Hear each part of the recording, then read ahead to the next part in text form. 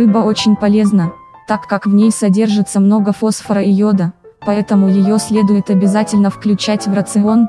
Существует много способов приготовить вкусную рыбу, например, в запечь фольге. Хотите сделать вкусное рыбное блюдо, но не знаете, как? Тогда прочтите, как приготовить фаршированного карпа в фольге. Из этого рецепта вы узнаете, как следует запечь рыбу, чтобы она оставалась сочной и не потеряла свои полезные свойства и витамины. Досматриваем ролик до конца и записываем ингредиенты. Карпа вымойте и почистите от чешуи. Достаньте жабры, сделайте глубокие надрезы поперек туловища рыбы, вставьте в них кружочки лимона, рыбу полейте лимонным соком и присыпьте перцем солью.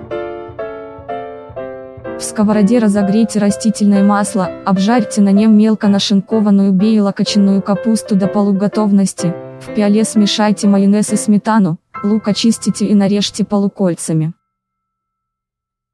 Возьмите чистую тарелку, в нее положите вымытую и мелко нарубленную зелень, добавьте к зелени немного натертой на мелкой терке цедры лимона.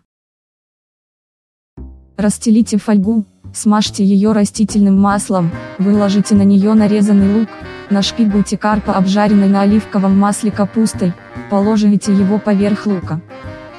Лайкайте, подписывайтесь, комментируйте.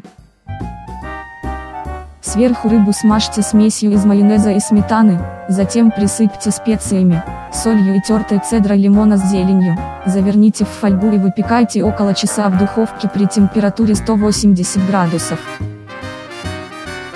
Подписавшись, не пропустите новые вкусняшки. Необходимые ингредиенты.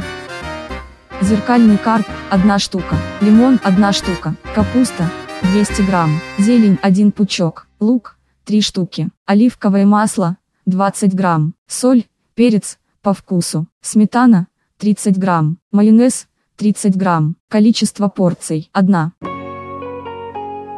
Спасибо за просмотр, подписывайтесь пишите комментарии, ставьте лайк или дизлайк. Друзья, жду вас снова.